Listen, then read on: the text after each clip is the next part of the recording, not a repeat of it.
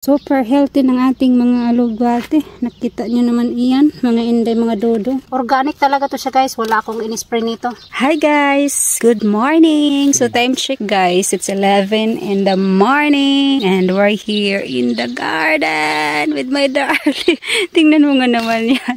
Nainita na talaga siya guys. Pero ako caring-carry pa kahit pinapawisan na.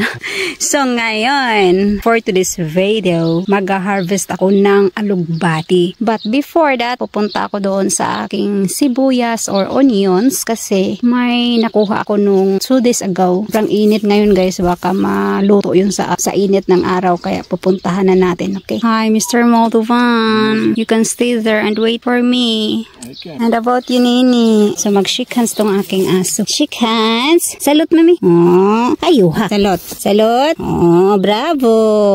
So, ito na yung aking mga sibuyas dalhin na natin sa bahay. Consumption na nato ni guys oy.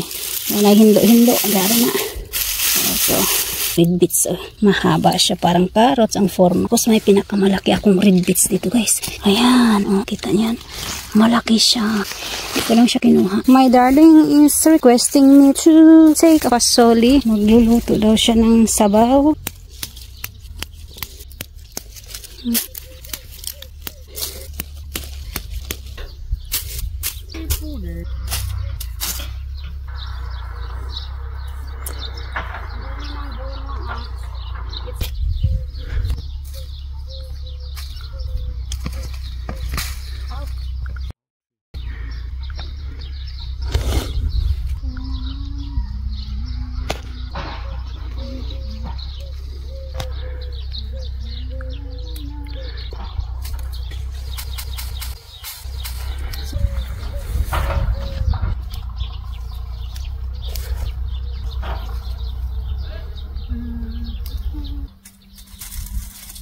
So guys, super init. Hindi ko na talaga kaya magstay dito sa labas. So, may na-harvest akong cucumber. Ito.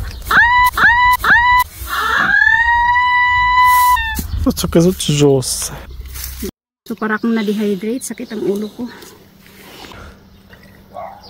Ah! So guys, dito tayo sa aking greenhouse. Mangunguha lang tayo saglit ng ating mga alugbati. Super lapad ng mga dahon nito guys. So, tingnan nyo guys itong alugbati na to. Hmm. Hmm. Saan ba kayo niyan?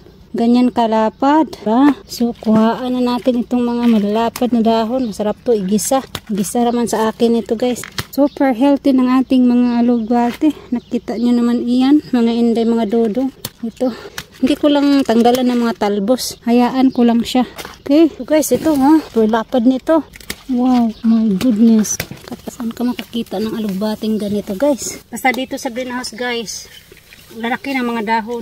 Sa labas hindi masyado. Kakapanguha ko lang ng dahon ng mga last week siguro. Tingnan nyo naman guys oh. Super laki ng mga dahon. Tataba. Organic talaga to siya guys. Wala akong in-spray nito. Mm -mm.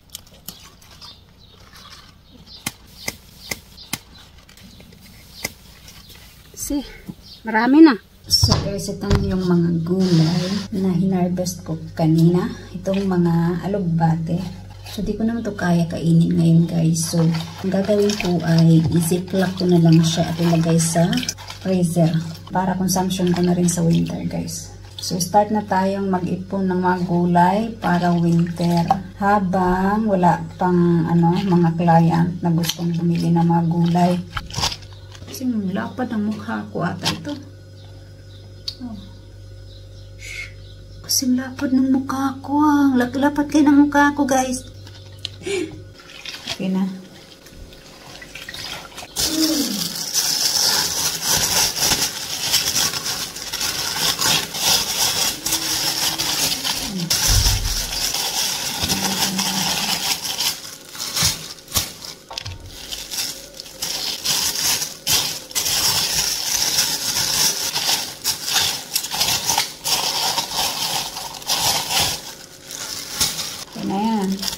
So guys, ito yung aking bati. Lalagay ko na siya sa ating freezer para sa winter na natin. That's all about our video for today.